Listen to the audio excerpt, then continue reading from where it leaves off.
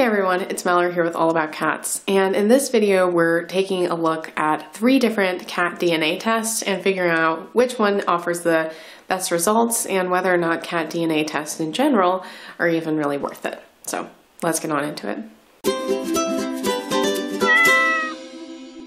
There's still a lot that I don't know about Wessie, including his history. So when we adopted him at the shelter, we knew that evidently he was uh, stray rescue. So I always imagined his mom as kind of an inattentive but street smart calico, but that's just speculation. I really don't know where Wessie comes from or anything about his ancestry.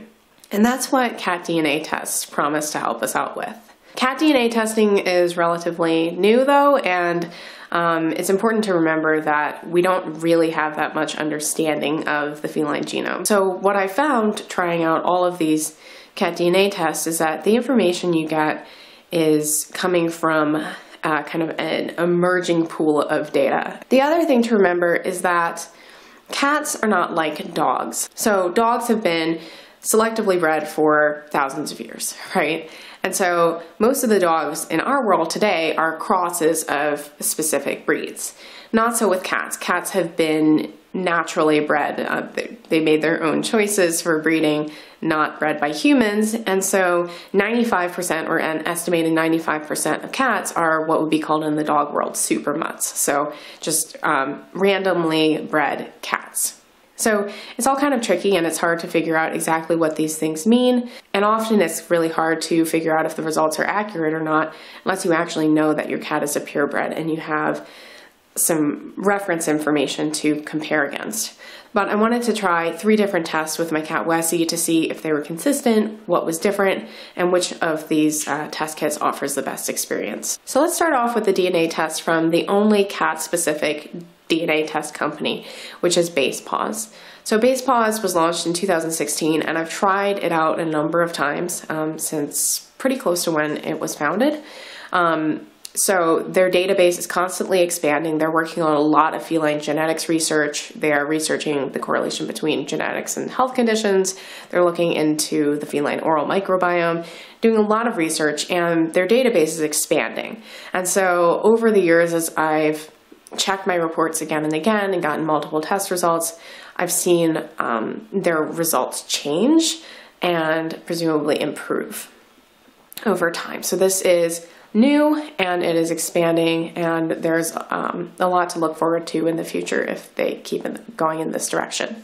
Their standard DNA test kit package includes a breed and health report as well as a dental report. So they're mapping your cat's genetic similarity to 21 plus breed types. Uh, they're looking at at least 22 different uh, trait markers and you're getting reports on at least 64 health markers um, as well as the dental health report. So overall, a pretty well-rounded report. Um, the Basepaws DNA test kit currently costs $159, so it's the most expensive kit on this list. Um, but it regularly goes on sale. Right now, you can get two kits for $80 each. And I've seen um, the whole kit on sale for about $80 pretty frequently. So um, I would definitely keep my eye out for sales and coupon codes because uh, Basepaws is almost always running um, some sort of promotion. Basepaws makes it pretty easy compared to other um, test kits to collect a sample. So it comes with a soft cotton swab that you're going to put into the cat's uh, cheek pouch for about 10 seconds, swab it around, and then invert into the stabilizing liquid. Uh, put that into a little bag. Remember to register your kit, and then send it off to the lab. Basepaws had the longest processing time of any of the DNA tests uh, that I took, uh, so it took seven weeks for the results to get back. The results came back in an enormous PDF document with three sections. So the first section is the breed analysis.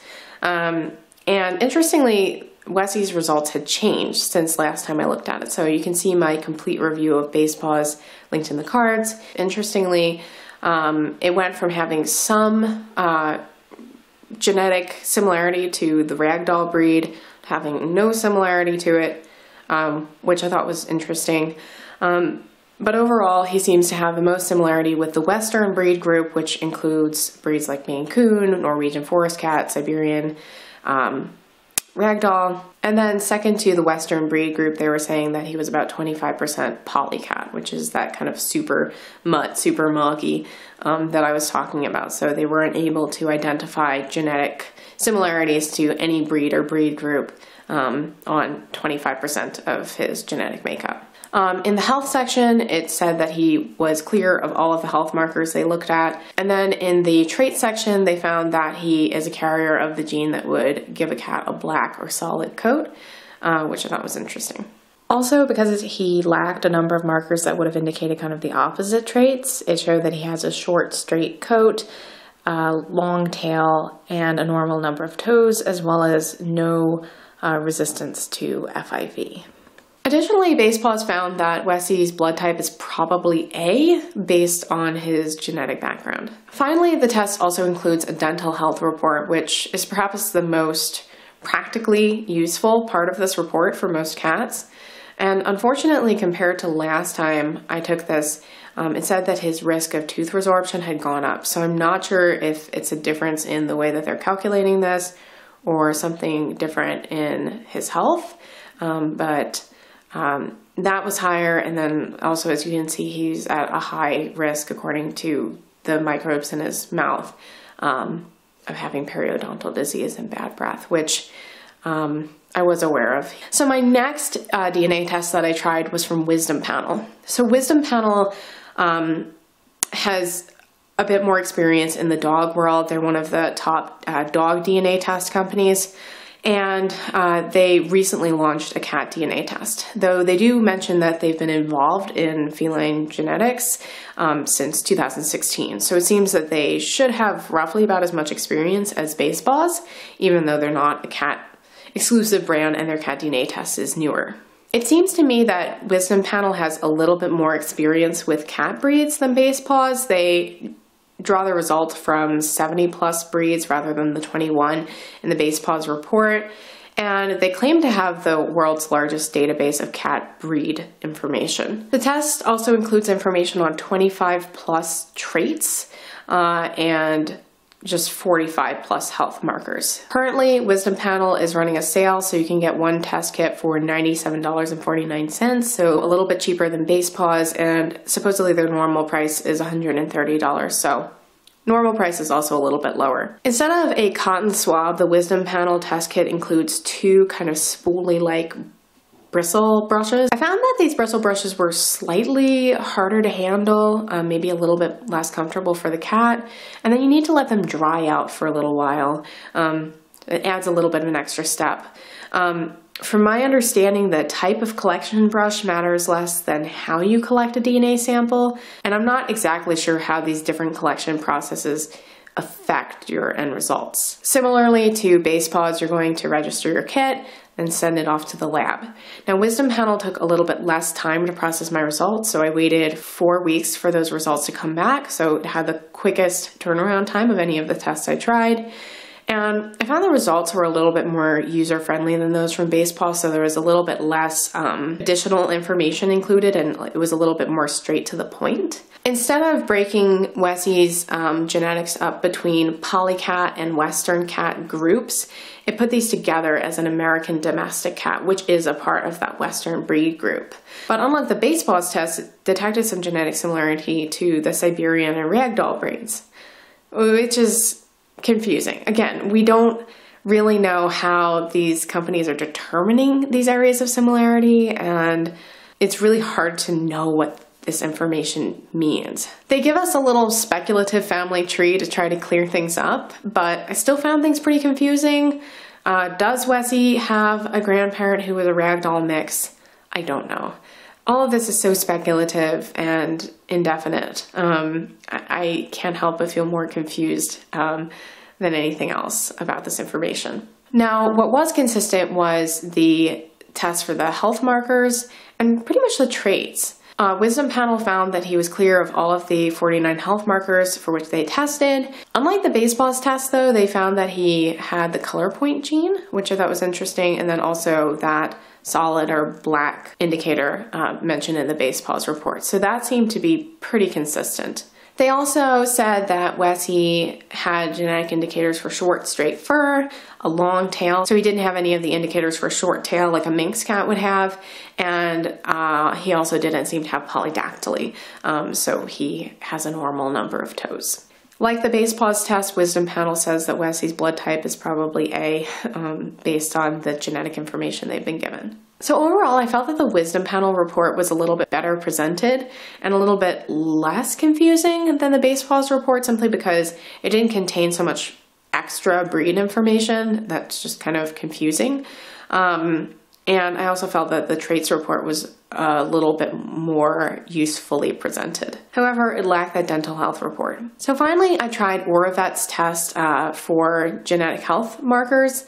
Um, so Orivet's test is a little bit different from the Basepaws and Wisdom Panel test in that it's geared towards breeders and veterinarians, and it doesn't bother with any of that breed analysis. In fact, uh, they offer tests specifically made for those who know their cat's breed and just want to look at different health markers that are common in that breed. So if you're a breeder, you know that there are certain conditions common to your ragdoll cats, then you can go and just get a test for those things.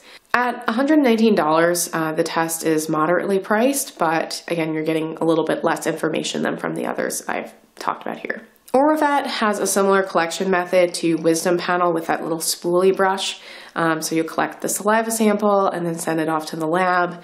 And Orivet took about five weeks to process the results. So it was a little bit difficult um, getting my results. Uh, so initially the results were not available in my account. So I contacted customer support and they sent me a PDF. And overall the navigation of the Orivet website is a little bit tricky. So I don't think their user experience is that great uh, when you're going through the results. And also the report does a little bit less hand holding. It's a little bit harder to interpret um, and understand than the other reports. Again, it's geared more towards professionals.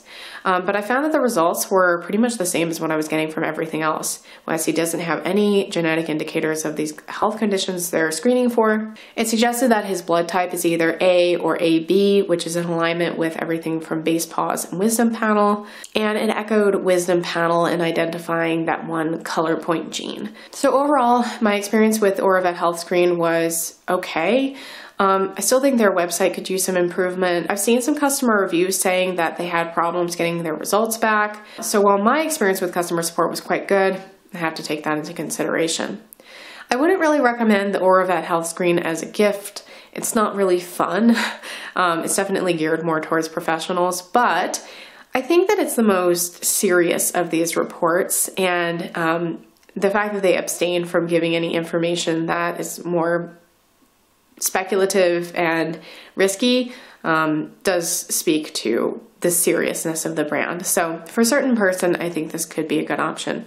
And then which of these DNA tests do I think is the best? So I think that for a fun DNA test, especially for a cat who has a really strong resemblance to a certain breed and really leaves you scratching their head as to whether they might be half ragdoll or half Maine Coon or something like that, I think the Wisdom Panel DNA test seems the most promising. They seem to have uh, the most information on cat breeds, and the test results are really nicely presented. And this overall comes at a reasonable cost, and the turnaround time is a little bit quicker than Basepaws.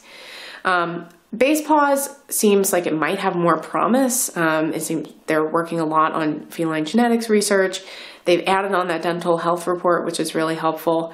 Um, and I think that as it grows, it could become something incredibly valuable.